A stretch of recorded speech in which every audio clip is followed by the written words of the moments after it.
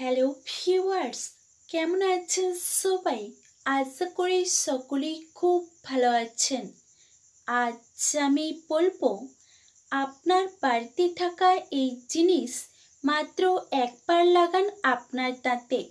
তাহলে আপনার দাঁতের ভেতর থাকা পোকা হয়ে যাবে ছুমন্ত ছু শুধু তাই নয়, এই ঘরোয়া জিনিসটির এমনই গুণ যা মাত্র একবার দাঁতে লাগালেই দাঁতের ব্যথা কমে যাবে এবং দাঁতের মাড়ি হবে লোহার মতো শক্ত এবং হঠাৎ করে যদি আপনার কোনো দাঁত নড়ে যায়, তাহলে সেই নড়ে যাওয়া দাঁতও আবার দাঁতের মাড়ির সাথে ঠিকঠাকভাবে সেট হয়ে যাবে আগের মতো। কোথায় বলে, দাঁত থাকতে দাঁতের মর্ম বোঝে না আসলে এই কথাটা কতটা সত্য একমাত্র তারাই বোঝেন যারা দাঁত নিয়ে কষ্ট পাচ্ছেন বা আগে কখনো পেয়েছেন।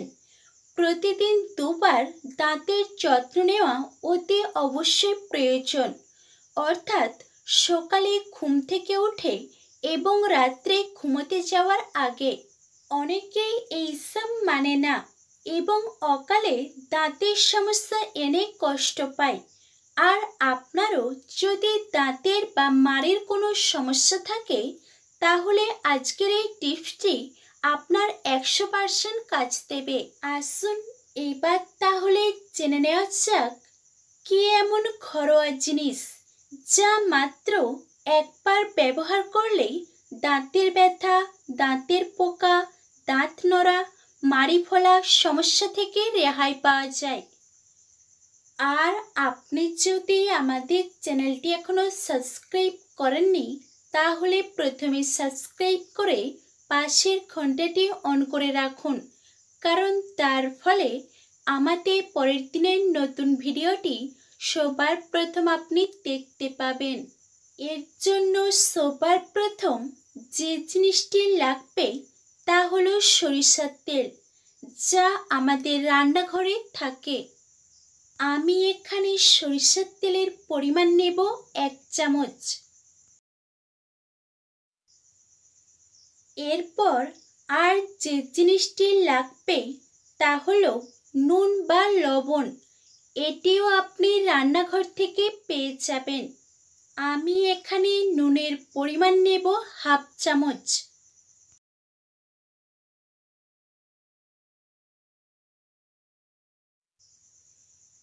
এরপর এখানে লাগবে হাফ চামচ হলুদের গুঁড়ো।